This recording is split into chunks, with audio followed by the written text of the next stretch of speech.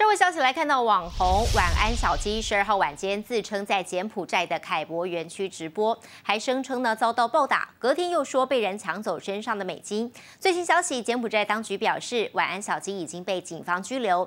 根据当地的法律控诉，他涉嫌诽谤。而我国刑事局国际科表示，晚安小鸡今天上午被带到西港警局制作笔录，原因是涉嫌散布不实的讯息。后续也尊重当地司法调查。